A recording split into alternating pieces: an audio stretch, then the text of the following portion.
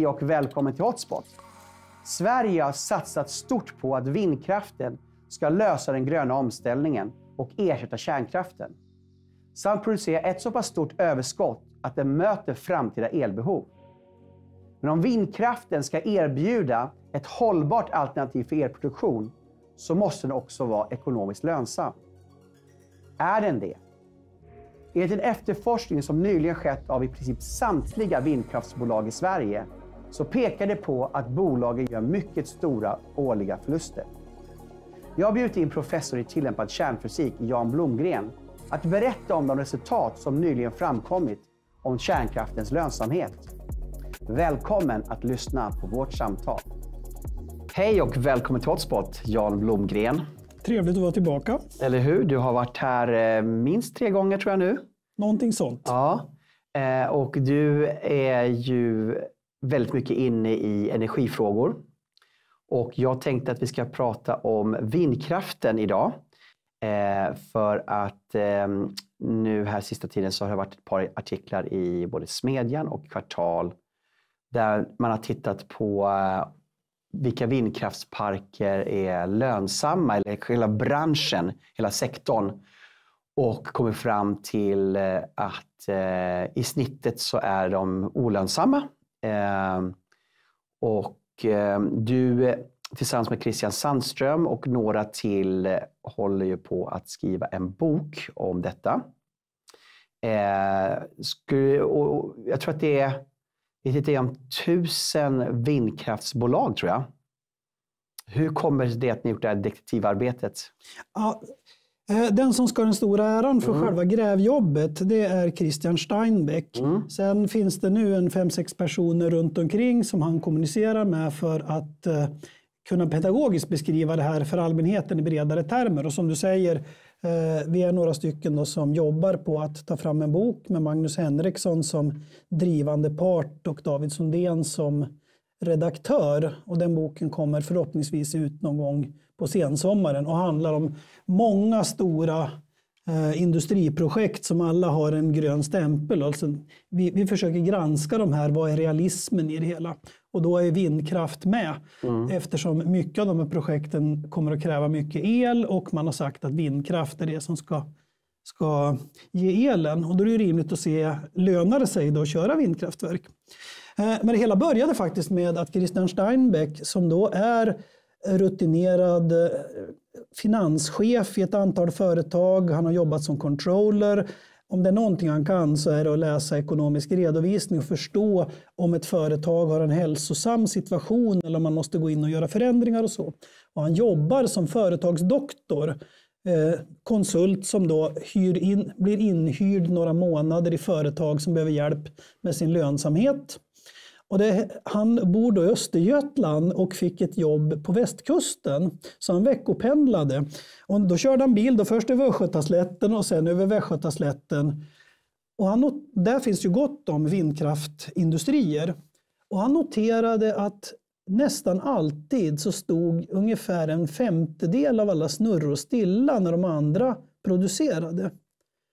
Och han konstaterade då att inom verkstadsindustri, där har man ju tunga maskiner. Det är liksom det närmsta han kunde komma då vindkraft, för det är tunga maskiner som producerar någonting. I ett verkstadsföretag, om en femtedel av alla svarvar står stilla, då går företaget i konkurs. Man, man kan inte låta en femtedel av det kapital man har låst upp i ett företag vara overksamt. Det klarar man inte. Ett, ett stort verks, ett framgångsrikt verkstadsföretag som Sandvik, de har mellan 15 och 20 procent avkastning på sitt kapital. Skulle en femtedel av grejerna stå stilla, då skulle de göra noll eller förlust. Så han börjar på att ställa sig frågan, varför kan de här fortsätta när de använder pengarna som är nerplöjda så dåligt? Och eftersom han är en person som älskar siffror så kontaktade han Svensk Vindenergi, alltså branschorganet, fick en lista över alla företag som har som har driftsatt mellan 2017 och 2021. Äldre företag så hade man inte fullständig kontroll på, men under de fem åren där hade man en komplett lista. Det här är alla företag. Eh, och sen är det en smal sak att eh, ta hem årsredovisningarna för alla de här företagen, för det, det är ju offentlig handling. Och så stoppar man in alla siffrorna i sina kalkylprogram och det visar sig att ut sprutade röda siffror, det vill säga förluster. Och han har ju tagit ett snitt då från 2017 till 2021. Ja, för varje år. Där. Ja, så det hur, hur ser rentabiliteten på eget kapital ut för de här åren?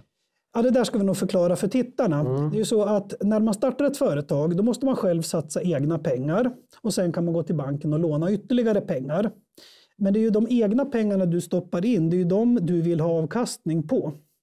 Eh, så räntabilitet på eget kapital, det betyder alltså hur mycket, om jag nu stoppar in 100 kronor, hur mycket växer de pengarna till i företaget med hjälp av produktion och lån och allt möjligt annat. Hur mycket får jag tillbaka som investerare helt ja, visst enkelt? Mm. Och då visar det sig att i snitt över den här tiden så ligger man på ungefär minus 15 procent. Det betyder att man förstör då ungefär en sjättedel, en sjundedel utav de pengar man stoppar in per år. Per år. Mm. Alternativt uttryckt, på ungefär sju år så är hela din investering borta och det betyder att då är företaget bankrutt. Så det tar alltså i snitt sju år för ett svenskt vindkraftföretag innan det är slut, det är mm. konkurs. Mm. Mm. Ja, för jag tittar på siffrorna här och inom den här femårsperioden så är två tredjedelar av, av pengarna borta. Ja, det är samma sak som att på sju år så är alltihop borta. Mm. Hur, hur, ser då, eh, hur ser resultaten ut? Då, då? Ja, om, om, vi börjar, om vi börjar med att titta på eh, Naturligtvis går ju inte alla lika illa mm. eller, eller lika bra. Och det visar sig att ungefär 80 procent av företagen under den här tiden gick med förlust. Så ungefär vart femte företag gjorde inte förlust. Men av de som inte gjorde förlust utan formellt sett gjorde en vinst så var det väldigt små vinster. Och inte ett enda utav alla undersökta företag lämnade eh, aktieutdelning till ägarna. Och hela poängen med ett aktiebolag är att ägarna ska få avkastning i form av utdelning. Så att inte ett enda företag nådde upp till att de orkade att ge utdelning till sina ägare. Men eh, då borde vi se väldigt många vindkraftverk gå i konkurs nu då? Ja, eh, men låt mig komma tillbaka till din fråga som jag inte riktigt svarade mm. på där. Nästa fråga att ställa det är ju då Eh, själva rörelseresultatet. Mm. Innan man börjar på betala räntan på lånen och betala av avbetalningar på att man köpt utrustning och sånt där. Så först vill ju till att själva driften av anläggningen går med, med plusresultat så att du får pengar över så du kan betala räntan på lånet och avbetala din utrustning. Och det där kallar man då för rörelseresultat. Det visar sig då att eh, när man bryter ner de här siffrorna och tar de företag som startade 2017 och följer dem med tiden. Där har vi då fem års statistik. Det är svårare med de som kom senare, för de har inte varit igång så länge. Men de företag som startade 2017, det visar sig att, att de gjorde ett ganska skapligt rörelseresultat. Det vill säga, hur mycket pengar fick vi på att sälja el minus hur mycket pengar kostade det att köra anläggningen, driften och underhållet. Då gjorde man ett inte så värst bra men dock positivt eh, rörelseresultat de första åren. Men det gick ner varje år och 2021 så har det genomsnittliga företaget negativt rörelseresultat. Det betyder alltså att värdet av elen som de säljer är mindre än kostnaden bara för att köra anläggningen. Det betyder i sin tur att det är bättre att stänga av vindkraftverket och inte låta turbinen snurra än att snurra. Hur kan det komma sig att, att resultaten går ner över, över tid? Eh, det är ju naturligtvis det första man funderar ja. på när man, får, när man ser sådana siffror. Alltså, de här siffrorna för en företagsekonom, det här är uppseendeväckande mm. usla siffror. Det finns ingen bransch i Sverige som har någonting liknande och det går inte att överleva med sådana siffror. Det det kan bero på är vi hade ett system i Sverige att vi subventionerade eller stödde byggandet av vindkraftverk med så kallade elcertifikat. Vi kan komma tillbaka till vad det är för någonting om en stund. Eh, och det stödet har minskat väldigt kraftigt under de här åren. Men sen kan du också ha en överetableringseffekt. Eh, och det är inget som är unikt för vindkraft. Det gäller all, all verksamhet. Jag brukar säga att om du har 100 personer på en strand som en, en fin solig dag. Du kan inte ha 100 glasskiosker. Om varje kiosk får sälja en glass, det går inte ihop. Mot. Du kanske kan ha en kiosk och få det hela att gå runt, eller kanske två om du har tur. Så har du för många leverantörer inom en, i förhållande till hur många kunder det finns, ja då får du ett problem. Här, men här har vindkraften en väldigt speciell situation eftersom el inte går att lagra och eftersom alla producerar väldigt mycket vid samma tillfälle och väldigt lite vid samma. Så att de dagar det blåser väldigt mycket, då kommer, el, då kommer det bli så stor tillgång på el så att priset rasar ner till väldigt låga nivåer. Man kannibaliserar ja. på sin egen vinst Alldeles. eller lönsamhet i branschen. Du använder precis samma uttryck som jag mm. brukar. Jag brukar mm. säga att de är sina egna kannibaler. Mm. Uh, och de dagar det blåser väldigt lite, ja då kan du få höga elpriser, men då producerar man ju väldigt mm. lite. Så det faktum att du har många vindkraftverk vi kanske har fått för många i förhållande till vad det finns kunder till elen de dagar det blåser mycket. Egentligen en svår affärsmodell då, om, man, om det nu är så att säga när man överetablerar. Vi, bygger väldigt, vi har ju byggt väldigt mycket vindkraftverk Ja, eh, hade du, haft, eh, hade du haft en tillverkning av någonting där du kunde lägga det hela i lager mm. och sen sälja det vid ett annat tillfälle, då hade du kanske gått att hantera. Som, som du har inom, annan, inom tillverkande industri. Men här måste du sälja produkten i samma ögonblick som du tillverkar den. Du har ingen annan möjlighet och du har ingen alternativ produktion. Ett verkstadsföretag som har en massa svarvar och borrar och allt möjligt annat om inte de längre kan tillverka parallellstag till bilar, ja då kanske de kan gå över till att fräsa bakaxlar istället. Men här finns det bara en sak. Det enda du kan göra är ju el när vinden blåser. Det finns inget, det finns inget sätt att förändra din affär när du upptäcker att det finns överetablering. Mm. Men då borde vi ha sett väldigt många vindkraftsbolag gå i konkurs nu om inte det var haft aktieägartillskott. Är det många bolag som har haft aktieägartillskott för jag menar, en, en, en investerare i sina sinnesfulla bruk investerar ju inte i, i bolag med sådana här siffror, att kasta goda pengar mm. för dåliga pengar. Uh, om jag då får backa till förra frågan ja. som jag inte hunnit svara på riktigt ja. än här heller, så leder det in oss på den här frågan, nämligen uh, elcertifikat. Ja. Vi hade ett system i Sverige som var gjort för att vi skulle få mera vindkraft. Uh, och det systemet var egentligen ganska väl genomtänkt om det nu är så att du vill ha så mycket vindkraft som möjligt till en så pass låg kostnad som möjligt och du har bestämt dig för att jag ska ge det här någon slags stöd men jag vill inte betala i onödan. Då är det svenska systemet med elcertifikat ganska väl tänkt. Då gjorde man så här att om du producerar el med vindkraft, jag förenklar lite grann för att mm. göra det här begripligt, men om du producerar el med vindkraft, du producerar en megawattimme, nu får du ett elcertifikat. Och nu har vi fortfarande inte satt ett värde på det hela. Det är ingen som vet vad det här kostar. Men sen samtidigt säger man, ni som gör el på andra vis, det vill säga vattenkraft och kärnkraft då i första hand. Ni måste köpa en viss mängd sådana här elcertifikat. Det betyder att när du har ganska lite vindkraftverk, då kommer varje elcertifikat att bli ganska dyrt. Därför att de där andra, vatten och kärnkraften, nu har ju de ett krav att köpa ett visst antal och nu kan det hända att priset då går upp ganska mycket för det är ganska få sådana att köpa. Men med tiden, och då, då ger ju det här en extra inkomst till den som har byggt vindkraft och det är lättare att klara och betala av bygget och bankräntan och så. Men med tiden då är det intressant för investerare att aha, nu kan vi bygga här för här kan vi få elcertifikat som gör att vi får en extra inkomst. Så I kalkylen ser ja. det väldigt lönsamt då ser, då ser det, På tidsstadiet ja, när man planerar de här ja, vindkraftsprojekten. Exakt. Så just under planeringsstadiet, det tar ju mm. några år från att man bestämmer sig för att vi ska bygga till att grejerna är igång. Och på den tiden så, hade, så hade, var elcertifikaten väldigt dyra. Som mest låg de på över 200 kronor per 218 certifikat. kronor per certifikat. Ja. September 2018 tror jag var. Och sen fick vi en kraftig tillväxt ja. utav, utav vindkraftbolag. Och det betyder att nu fanns det helt plötsligt många fler eh, elcertifikat att köpa. Alltså går priset per certifikat ner. Och de har rasat då från 218 som du sa ner till drygt 4 kronor. De har alltså tappat 98 procent av sitt värde.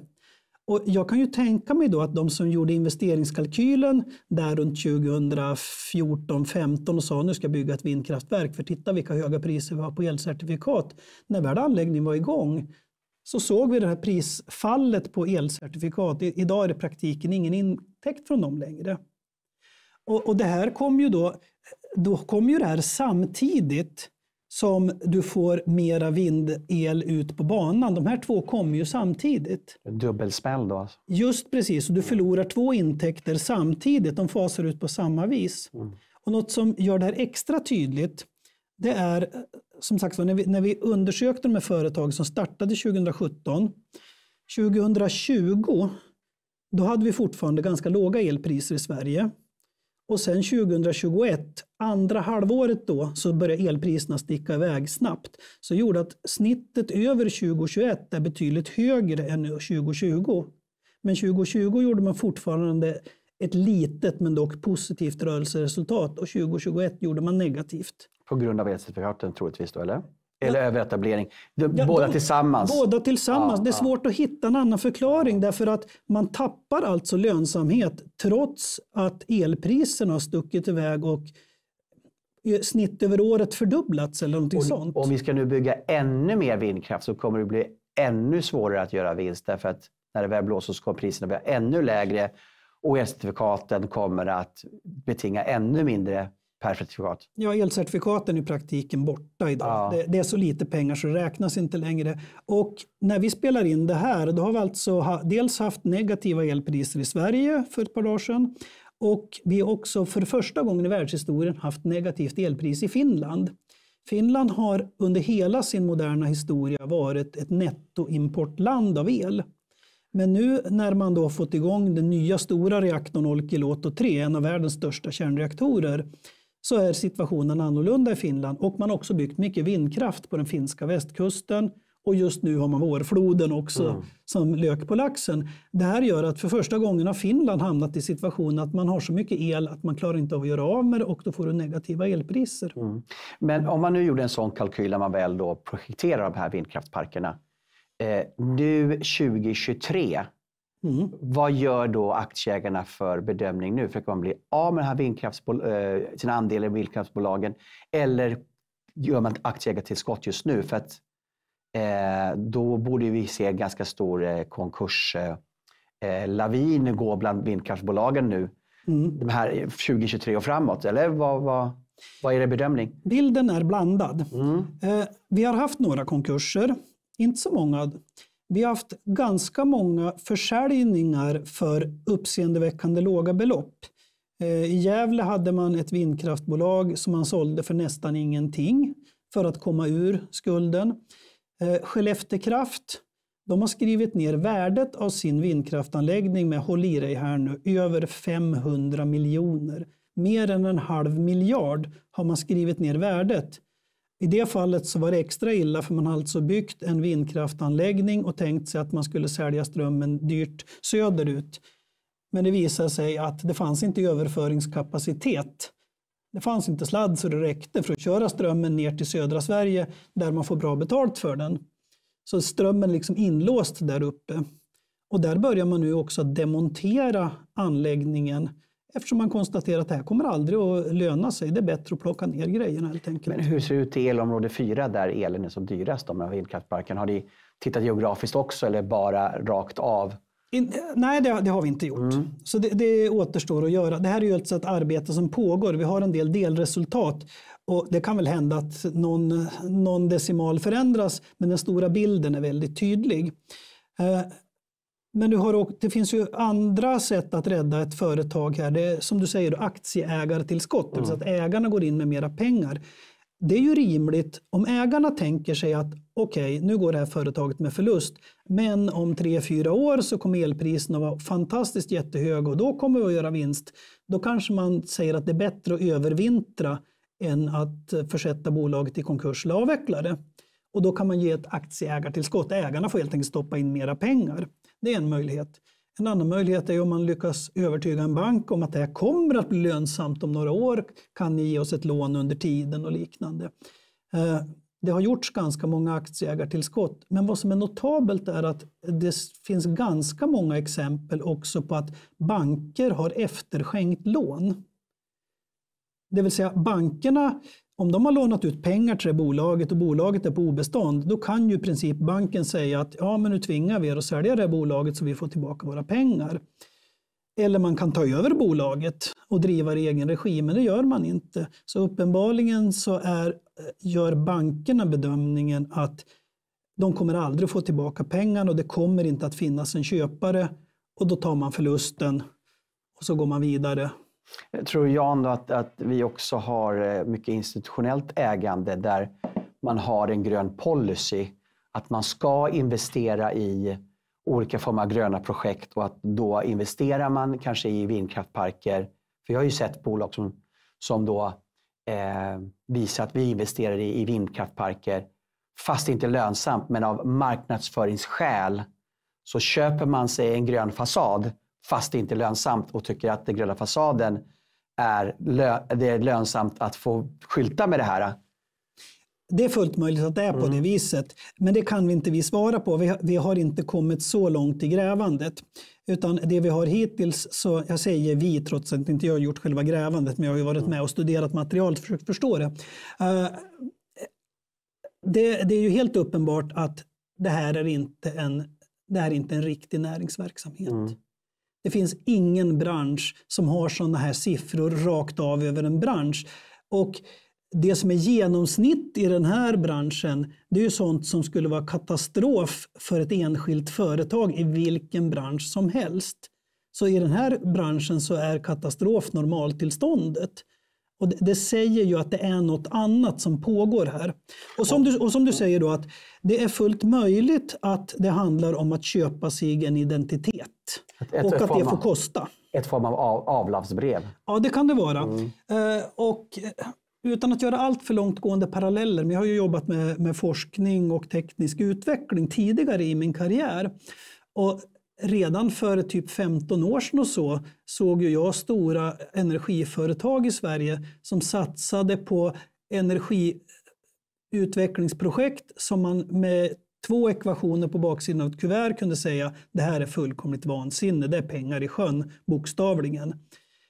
Men fann, det, dels fanns det ett intresse av att få fina bilder och sätta på omslaget i sin årsrapport och säga titta vi är gröna och vi, vi är världsledande och vi leder utvecklingen. Det är ofta väldigt mycket världsledande snack. Det, det, man, man, man, har ju väldigt mycket med signaleringarna i sina årsredovisningar ja. och i sin reklam och mm. man presenterar sitt företag, sina hemsidor. Alltså så, ja. det, här, det, här, det, här, ekonomiska avlatsbrevet verkar vara mm. väldigt viktigt idag.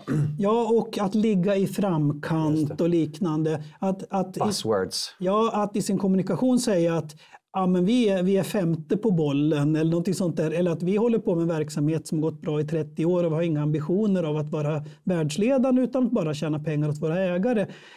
Det räknas liksom inte idag.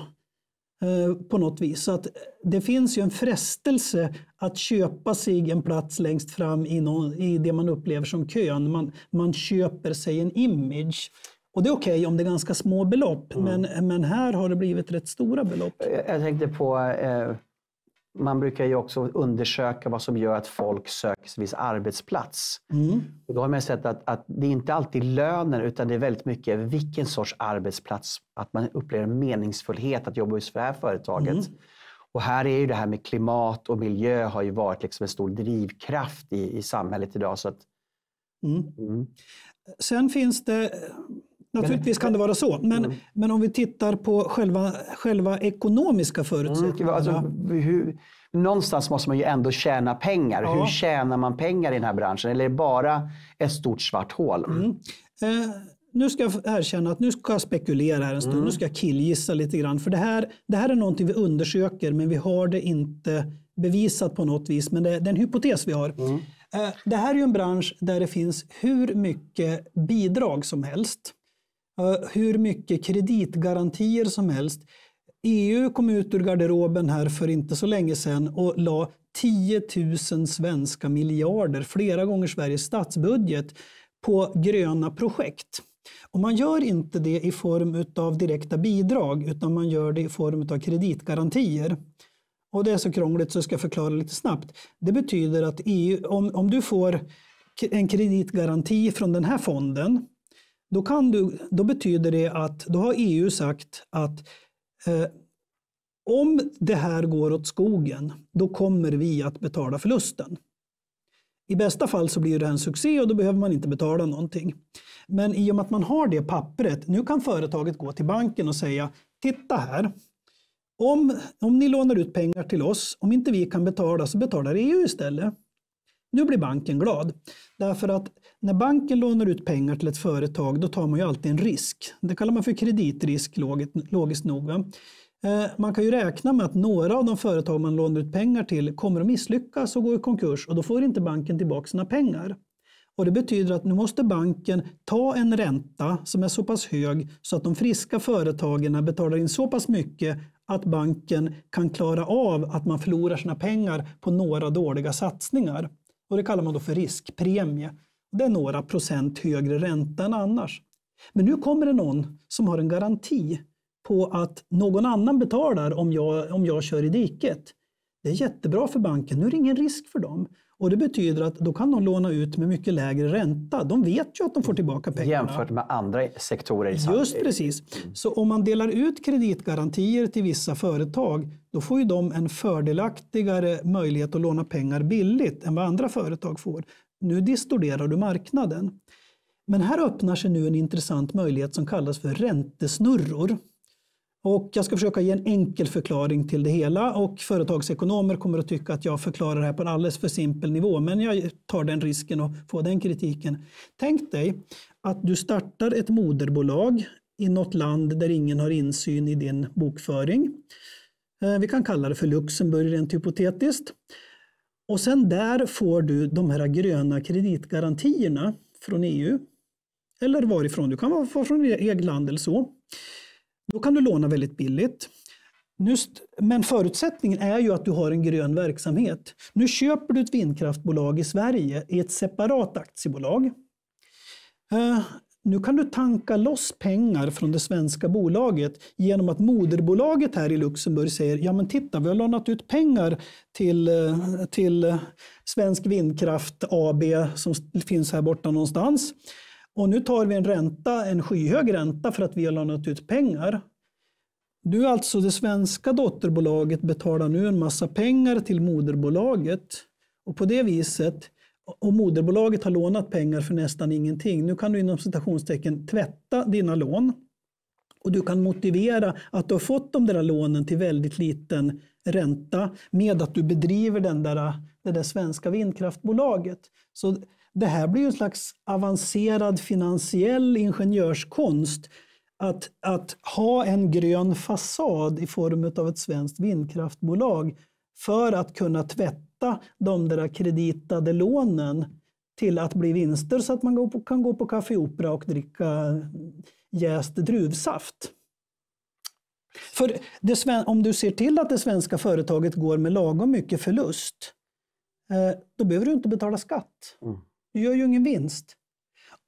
Vinsten uppstår i ditt hemland och då ser du till att ha ett hemland där skatten är mycket lägre än i Sverige. På det här viset kan du, om du jobbar i flera länder, så kan du alltså hitta konstruktioner där du kan gå med vinst trots att ditt svenska bolag går med förlust. Om det bara inte går med för mycket förlust. Och då skulle du kunna ge ett aktieägartillskott hela tiden för att hålla här under, verksamheten under armarna så att det fortsätter. Därför att din, din, din din finansiella transaktioner ändå kommer ge mer tillbaka i de höga lånen som du då, eh, eller höga räntorna som du begär av ditt dotterbolag.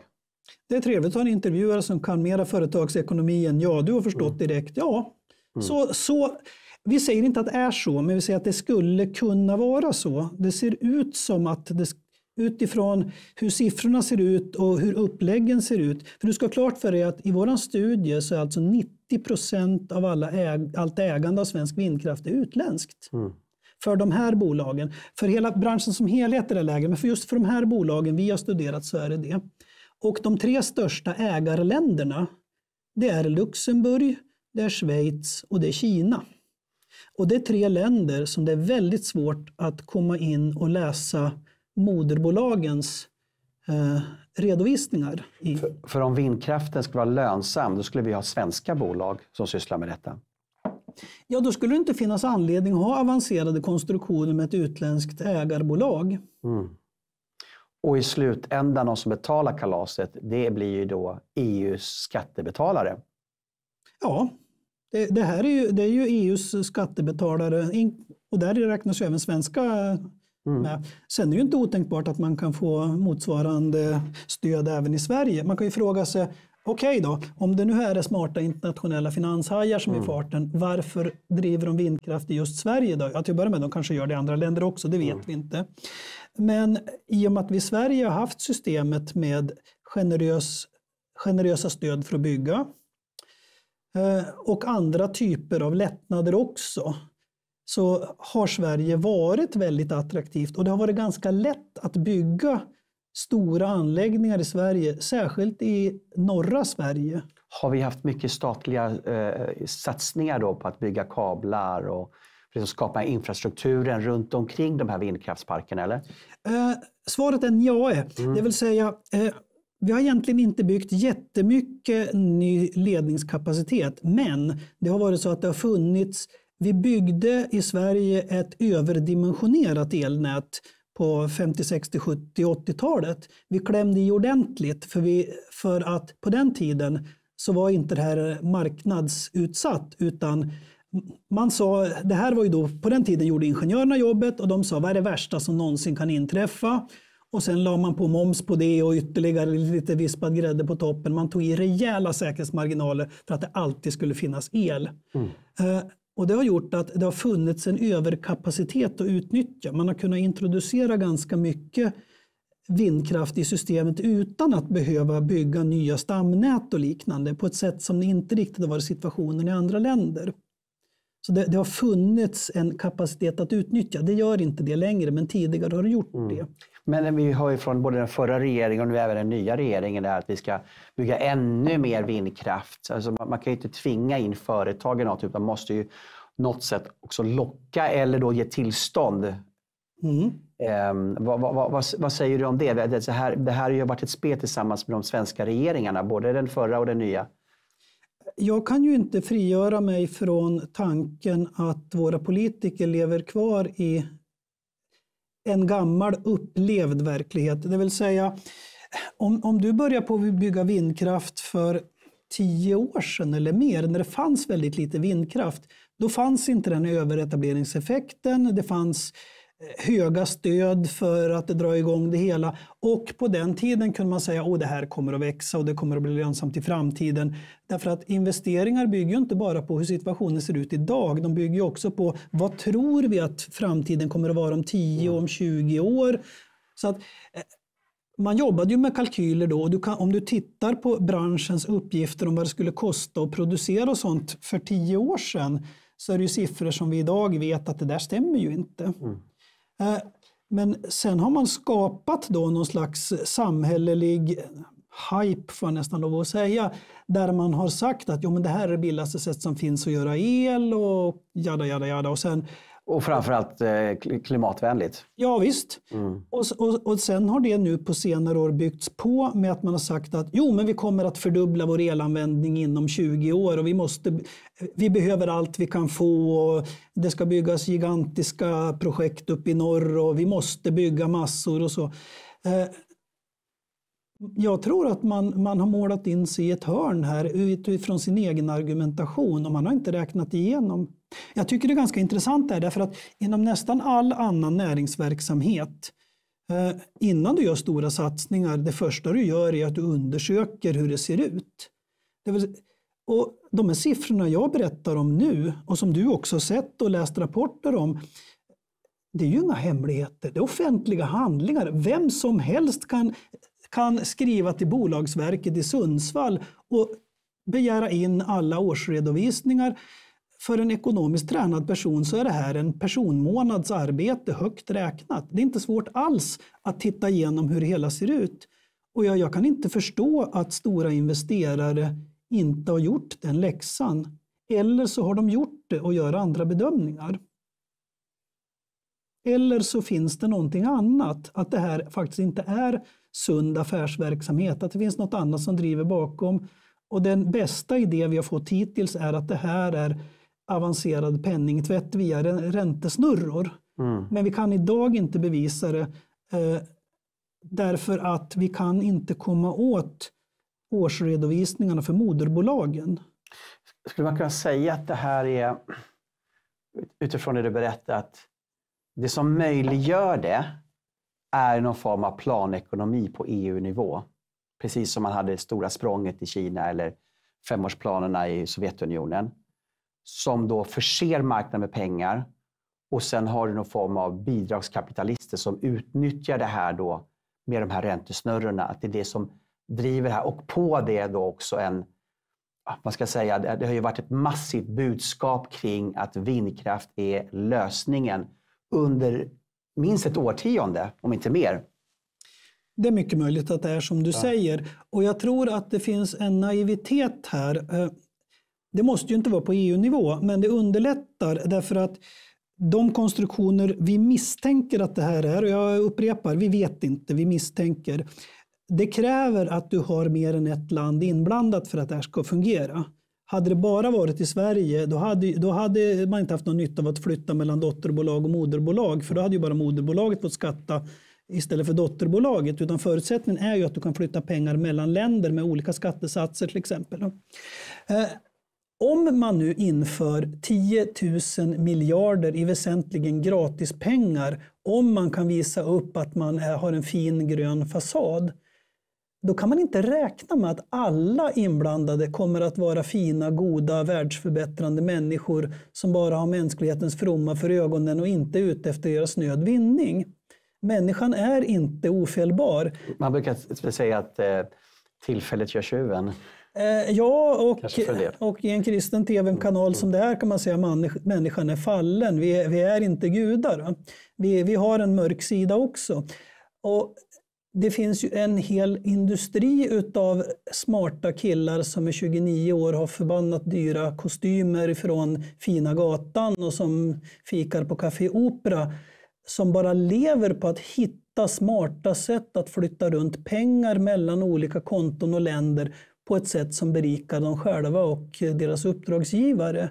Och det här är ju ett system som öppnar väldigt många sådana möjligheter. Mm. Utan att bryta mot lagen. Mm, precis. Ja, det här är en hypotes som ni har. Ska bli se, intressant att se om ni kan få den bekräftad. Um... Ja, det är långt ifrån säkert att det går att göra. Just mm. därför att och men det här är också intressant. Va? Mm. Det är att de tre länder jag nämnde, de dominerar stort i ägarländer. Varför i hela fridens dag ska just Luxemburg, Schweiz och Kina vara de stora ägarländerna? Varför ska det inte vara Nederländerna, Tyskland, Storbritannien? Varför är det just de här länderna? Och var, vad säger du orsaken? Kina är en kommunistisk diktatur, du kan inte se någonting. Och deras fall måste det inte vara, ja, de är väl kanske inte ute efter EUs eh, gröna pengar, de kanske är ute efter någonting annat. Vad sägs om makt och inflytande? Schweiz är ett, företag med banksekret, ett land med banksekretess. Det är jättesvårt att komma åt och se vad som finns bakom. Och Luxemburg har en liknande situation också. Men jag kan berätta ett roande exempel för dig. Det här är svart humor. Luxemburg är ju ett litet land som nästan inte har någon egen elproduktion. De är väsentligen omgivet av, av kolfält runt om. Så i stort sett all el du använder i Luxemburg kommer från kolkraft från de omgivande länderna. Från Tyskland, Belgien, eh, Nederländerna och ofta väldigt lortig kolkraft också. Men Luxemburg har fantastiskt eh, fin koldioxidsnål elproduktion. Hur kommer det sig då? Jo, det man gör är alltså att man köper inom citationstecken ägande utav eh, elproduktion i andra länder och kvittar bort det hela då i statistiken. Och nu kommer till det riktigt spännande här. Så, så Luxemburg har, har, nästan bara grön elproduktion i statistiken. En fjärdedel av Luxemburgs el är, håll i dig här nu, vattenkraft på Island.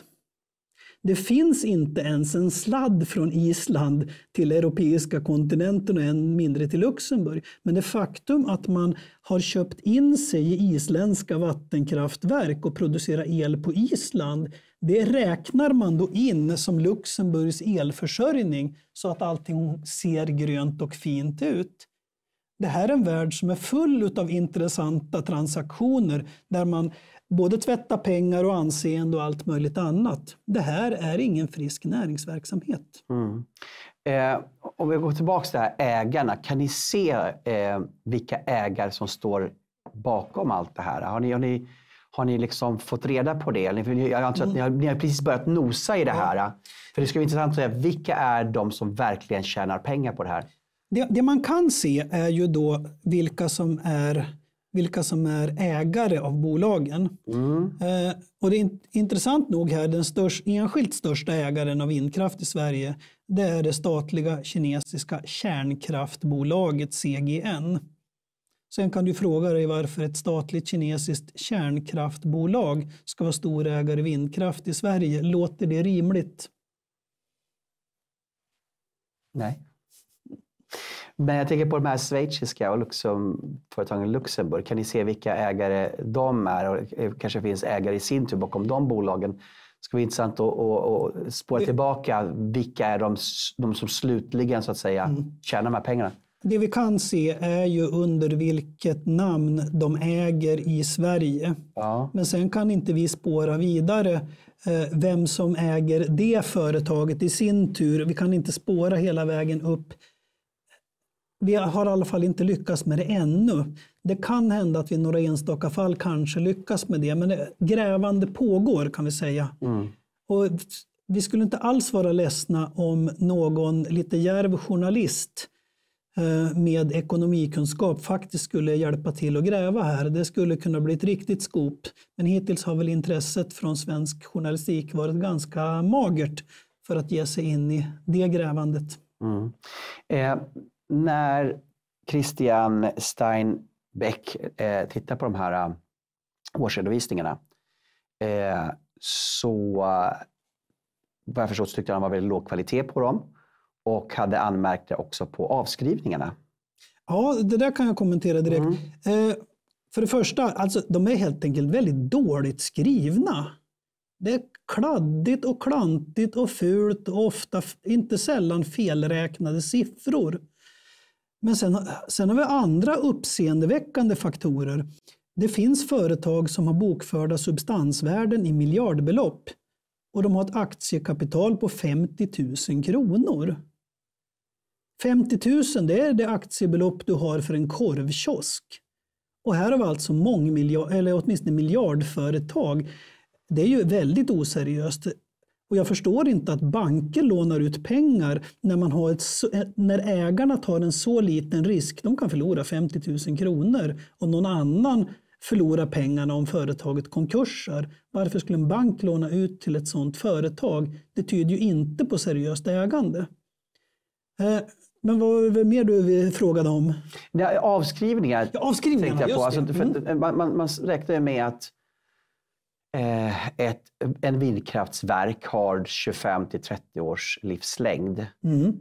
Eh, men vad jag förstår så har ni tittat på det här också och ser att livslängden är ju mycket kortare. I synnerhet därför att man byter ut den stora delen som är rotorbladen mycket, mycket oftare. Inte minst när det gäller havsbaserad mm. eh, vindkraft så är det nästan varje år. I den här studien har vi bara tittat på landbaserat. Det mm. fanns inget havsbaserat mm. på den här tiden. Det är ju något som har kommit in på banan senare. Och det är ju fortfarande någonting som vi pratar om, men vi har inte särskilt mycket redan byggt.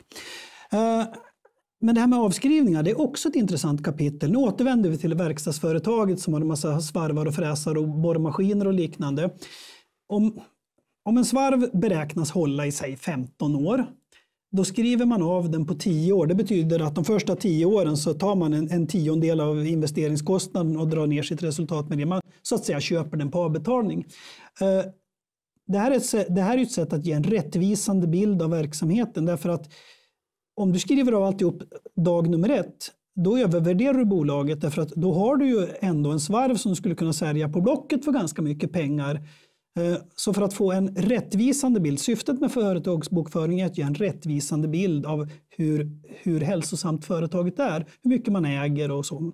Därför skriver man av det, men man skriver av det på en kortare tid än den tekniska livslängden, men inte jättemycket kortare. Och det är för att det är värre att ett företag är, är undervärderat än övervärderat. Eh, det vill säga, om, man skriver av det på för lång tid, då kan du hamna i situationen att nu, tar svarv, nu skär svarven, vi måste kasta ut den, men vi har fortfarande inte betalat av den. Mm. Nu har du en skuld som, inte, som, så att företaget är i ett sämre skick än vad du kan se utifrån bokföringen. Och därför skriver man fortare än, än den beräknas att hålla. För att inte övervärdera, inte undervärdera. Just det, ja, mm. tack. Jag, jag sa fel där. Mm. Jo, men, men, men, också för att, för att den som vill köpa företaget eller driva det inte ska mm. Förstår tro riktiga, att det riktiga finns en, värdena. Ja, just det, att det, det, det, ska inte vara så att man köper grisen i säcken. Mm. mm. Så det är en viktig princip. Och så är det i ett typiskt verkstadsföretag. Att där har man alltså ganska många maskiner som man redan har betalat av, men de funkar fortfarande. Och då är man ju nöjd och glad att, att man har lite sånt. Man har ett övervärde då? I de här ja, mm. visst. Mm. Men det vi ser inom de här bolagen är att det är tvärtom. Man har alltså lagt upp, man har sagt att de håller tekniskt sett i 25 år och då skriver man av dem på 25 år. Det vill säga man har ingen marginal där då. Eh, och i några fall har det varit så att det betyder, om du skriver av på 25 år, det betyder att 4 procent av inköpskostnaden ska du dra ner resultatet med varje år. Men om du nu får, om du nu får förlust på sista raden, då säger man att ah, skriver om på 30 år istället. Då blir det ju 3,3 procent du ska skriva ner. Då, då blir resultatet i år lite bättre. Mm. Och det har hänt i flera fall att revisorerna har gått in och sagt att Nej, men så här långa avskrivningstider kan ni inte ha. Så här länge håller ju inte grejerna. Titta, ni, ni gör ju förlust på själva rörelsen redan efter fem år. Då kan ni inte skriva av det på 30 år. Därför att även om den tekniskt skulle hålla så länge så håller det inte ekonomiskt. Det är inte lönsamt att köra den bortanför de, de första fem åren eller någonting sånt. Så att det har hänt ett antal gånger att ägarna har velat förlänga avskrivningstiderna för att få mindre förlust idag och revisorerna går in och säger precis tvärtom. Nej, ni måste skriva på kortare tid för, för annars, annars lurar ni att det finns en massa dolda värden i företaget som det faktiskt inte gör. Mm. Så det har varit ett dragkamp där ute mellan, mellan, ska vi kalla det för de finansiella ingenjörerna och revisorerna. Mm. Så blir resultaten ännu mindre då om man ska skriva av dem korrekt? Ja, om det nu är så som det ser ut att efter fem år så mm. är inte det här lönsamt längre, mm. då ska man skriva av det på fem år. Mm. Men de skrivs av på 25. Så det betyder att egentligen skulle resultaten ha varit mycket sämre. Mm. Och, och, är det nu så att det här beror på att, eh, att stödet från elcertifikaten i praktiken är borta nu och att överetablering har gjort att man får väldigt lite betalt för strömmen. Då betyder det att då är ju det här en verksamhet som inte kan gå med vinst överhuvudtaget. Det här är en verksamhet som bara kan gå ihop om du får, ständigt får ett stöd. Mm. Hur hamnar vi i det här då, Jan? Att vi att vi har satsat så oerhört mycket på vindkraft i Sverige, norra Europa där vi inte har så mm. mycket sol så man inte kan satsa på eh, solpaneler som man kanske kan göra i Spanien och så. Men eh, har det att göra med att vi kan inte bygga ut fler älvar. Eh, man tycker inte att kärnkraft är ett alternativ därför att man är kärnkraftmotståndare i grunden, i alla fall vissa politiska mm. partier är det som har suttit i regering och så. Att man har inget annat val än att se att vindkraften är det vi måste satsa på. Man, man, man, man, inte, man har inte upplevt sig själv att man har andra alternativ, eller? Jag brukar ju säga att det finns tre skäl. Mm. Politik, politik och politik. Därför att om du nu bara hade sagt nu, nu vill vi ha el till, till vårt land mm. och vi vill ha en billig och väl fungerande lösning. Om vi inte hade gjort någonting sedan 1985 skulle det varit mycket bättre läge än idag. Eh, på den tiden vi hade byggt ut eh, vattenkraften, vi hade, vi hade ungefär bortåt 10 procent av elen från kraftvärme. Det vill säga en biprodukt som värmeproduktion på vintern. Och sen hade vi ungefär 45 procent vardera av vattenkraft och kärnkraft. Den kärnkraftsflotta vi hade då, 12 reaktorer istället för 6 som vi har idag. alla de 12 hade gått att köra idag också om man hade velat. Och det är också så att alla 12 hade gått att få ut mera el ur. Därför att när kärnkraften byggdes så var det en ny teknik. Man visste inte allt, så man var tvungen att ta i med säkerhetsmarginaler för sånt man inte visste om. Och med sen 30 års erfarenhet av att köra det hela så vet vi idag mycket bättre att ja, men det där var överdesignat så här kan vi ta ut 5% mera utan att ha några säkerhetsproblem och liknande. Eh, och vi har också höjt effekten på, på de flesta svenska kärnkraftverk, eller alla faktiskt. Hade vi behållit de där sex som vi har lagt ner och underhållet, de håller dem i gott skick, höjt effekten lite lagom mycket, då hade vi haft ungefär lika mycket el som vi har idag i Sverige, men vi hade inte behövt bygga ett enda vindkraftverk. Och vi hade haft el 24 timmar om dygnet och vi hade inte haft hejvilda fluktuationer, att strömmen kan vara gratis en timme och kosta flera kronor dagen därpå. Utan då hade det varit ett stabilt och jämnt pris och då var det lika över hela landet. Men om man nu har bestämt att vi ska göra en grön omställning, mm.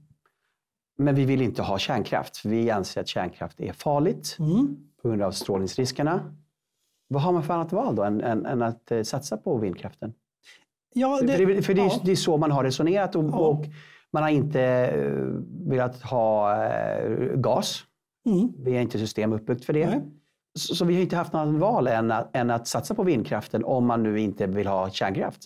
Ja. Och det, här, det här är ju som jag säger, då, det, det, handlar om politik. Om du säger att vi ska ha fossilfri el, vi ska inte bygga ut vattenkraft. För vi har haft fossilfri ja. el hela tiden ska vi tillägga. Ja, i allt väsentligt ja. sedan 40 år tillbaka. Mm. Men om du säger att vi ska inte ha mera vattenkraft och vi ska inte ha någon kärnkraft överhuvudtaget och vi ska inte ha någonting fossilt. Ja, då har du inget annat att välja på. Då är, det, då är det vindkraft eller elimport som är dina alternativ. Och, och jag, jag tänker så här, Jan. Det här måste ju skapa en skygglappar i debatten. Att eh, vi, vi vill inte lyssna på att kärnkraften är bra, att, att, att det är ett alternativ. Mm. Och vi vill inte heller lyssna på att det är problem med vindkraften därför att vi har inga andra val än att gå den här vägen. Ja, det, det, om, om, om människor har sagt jag har inget annat alternativ och sen kommer någon och säger men det alternativ du har valt kommer att, le, kommer att vara väldigt problematiskt. Då vill man inte lyssna. Då, då, då, då vänder man ju blindögat till. Ja, har, mm. har, har man bundit sig för att det här är det enda jag har att tillgå då är det inte så bekvämt att lyssna på att jag har valt någonting som faktiskt jag har skitit i det blå skåpet. Mm. Då vill man inte höra det. Den här, den här artikeln som, som nu kom ut i Kvartalsmedien. Eh, jag har inte sett att det har varit i några andra tidningar, för det var, den, är ju, den är ju väldigt intressant att se mm. att i snitt så har inte vindkraftsbranschen varit lönsam på de här fem åren, 2017 till 2021. Nej, den har aldrig varit lönsam som helhet. Nej, och själva rörelseresultatet har varit positivt i några år, men det är inte heller nu. Mm. Så att nu, nu är det lönsammare att låta den stå stilla än att snurra till och med. Va? Mm. Uh, men det, det, har funnits, delar av det har också varit med i affärsvärlden. Men har av någon märklig anledning inte plockats upp av andra större tidningar. Och det tycker jag är lite märkligt därför att det här är information som skulle kunna påverka börskurserna i stora bolag. Mm. Varför har inte då ledande affärstidningar plockat upp det hela? Mm. Precis. Det, det, det... Och återigen, man, man, kan naturligtvis säga nu är den där vindkraftshataren Blomgren ja, i farten igen. Ja. Kan, folk kan säga att, att jag, jag är ett galet högertroll mm, eller vad de vill. Va? Men det spelar ingen roll, för det här är inte åsikter, mm. utan det här är, ja men läs årsredovisningar, det är offentliga handlingar. Vem som helst kan läsa de här siffrorna och vem som helst kan stoppa in dem i ett ekonomiprogram eller med papper och penna räkna men, ut. Men varför tror du att man har slagit dövörat till kring, kring det här? Jag brukar, ju, jag, brukar ju säga, jag brukar inte tro på konspirationsteorier mm. utan jag brukar säga att eh, så gott som alltid när man tror att en konspiration så är det bara inkompetens det handlar om. Så jag, jag kan ju se två förklaringar. Det ena är ju då att man är så invaggad i tron att Åh, det här är vägen framåt och vi är en del och vi är världsledande och vi går före i den gröna omställningen. Att man har pumpat sig själv full med sin egen godhet och därför inte vill syna korten. Man vill inte skåda given häst i munnen. Det är en möjlighet. Mm. Eh, en annan möjlighet är ju då att de inblandade aktörerna faktiskt tjänar pengar på det här men, in, men på ett annat sätt. Och det vi, kan, det vi kan föreslå är ju då att smarta transaktioner över landsgränser som tvättar pengar genom så kallade räntesnurror. Det skulle kunna vara en förklaring till hur man ändå kan göra vinst trots att man gör förlust i Sverige. Jag tänker på den offentliga debatten. Den offentliga debatten? Hur, hur kommer det sig att den offentliga debatten verkar uh, slå dövörat till? Uh, men, det, mm. det här borde ju andra journalister ha, ha undersökt och sett. Speciellt investerarna. Det här, här kan ju inte vara en nyhet egentligen, speciellt inom finansiella världen jag tycker redan jag har varit inne på den ekonomiska sidan av det hela, men låt mig vara järv nog att gå i ett mycket större perspektiv. Mm. Uh, nu backar vi till Nietzsche här på 1800-talet. Uh, eh, när han säger att Gud är död och vi har dödat honom. Eh, och man pratar om Übermensch som sen då Hitler plockade upp med känt resultat. Och det har gjort att folk har lite grann dragit sig för att läsa Nietzsche för man ser honom som en slags nazistisk filosof. Det var han inte. Det var, det var inte så att Nietzsche målade upp detta som ett ideal. Han gjorde en observation eh, och varnade också för den. För det, det Nietzsche sa det var ju att om människor inte tror på någonting annat än sig själva då måste människor måste tro på någonting och det slutar med att då gör vi oss själva till gudar i Guds ställe. Men det gör också att efter ett tag börjar vi dyrka oss själva också. Och då, då blir vi narcissister. Om, om, vi, om det inte finns någon högre makt, då måste vi själva bära världens alla problem på våra axlar. Det finns inte längre någon nåd. Det finns ingen upprättelse. Vi blir ansvariga själva för precis allting och ingen kan komma och hjälpa oss. Och I ett samhälle där människor inte har någonting högre att tro på, ja, då, då måste man tro på något annat. Eh, och då kan den gröna omställningen få vara ersättning för den funktion som Gud fyllde för hundra år sedan. Låt mig göra ett par ex historiska exempel. Här. 1986 mördades Olof Palme i Stockholm. Det tog inte många timmar innan det var kubikmeter med röda rosor på Tunnelgatan, Sveavägen-korsningen i Stockholm och människor stod där och grät och höll varandra i handen. Och det var inte bara socialdemokrater. Utan människan har ett behov av att vara delaktig i någonting större än sig självt.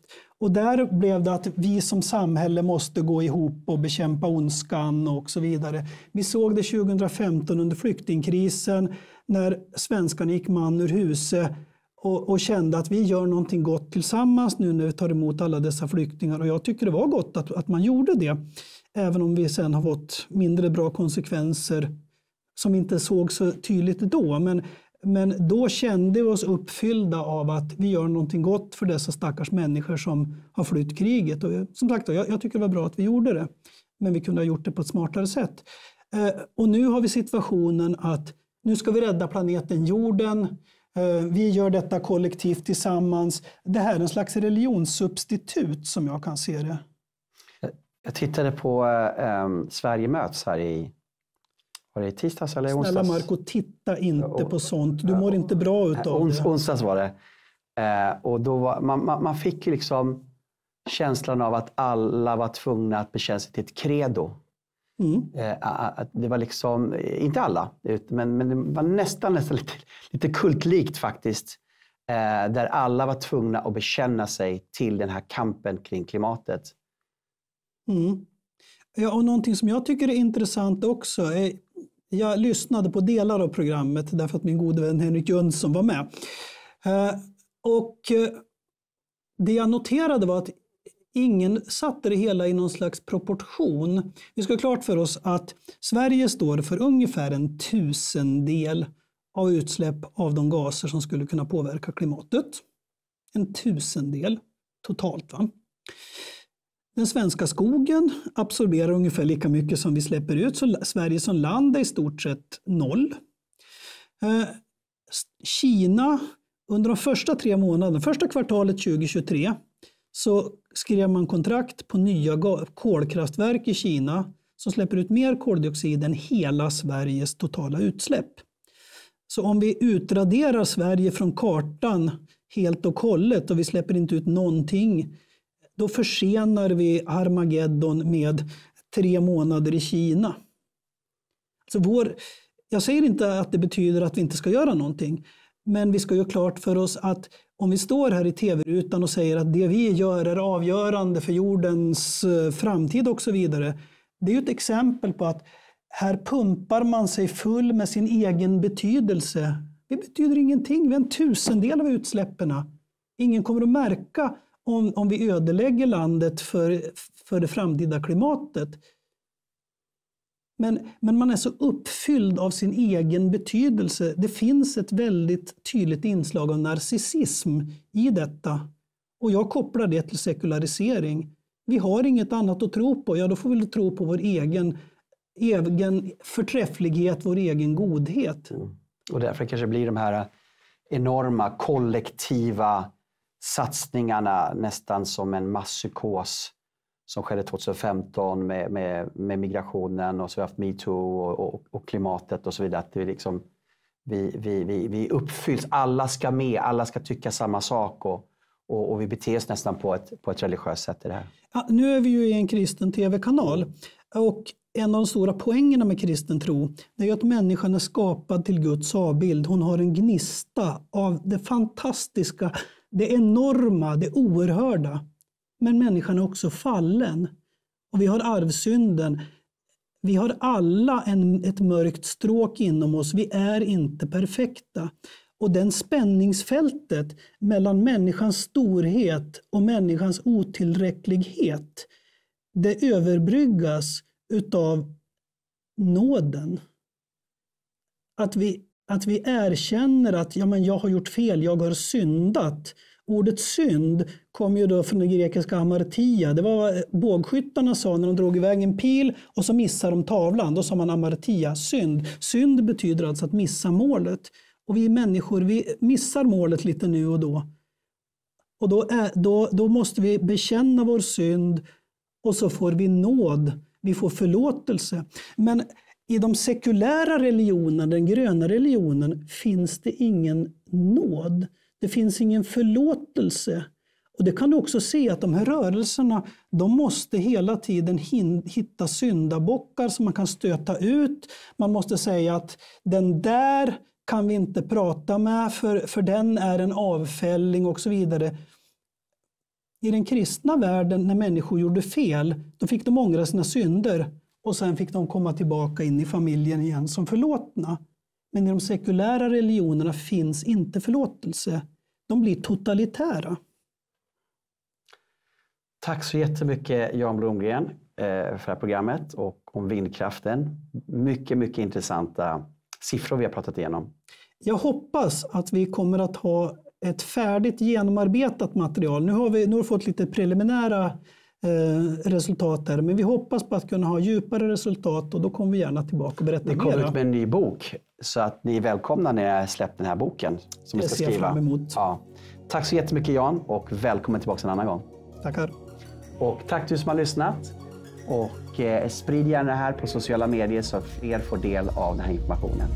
Tack och välkommen tillbaka nästa lördag då vi ska tala om marxismen har präglat Sverige. Tack.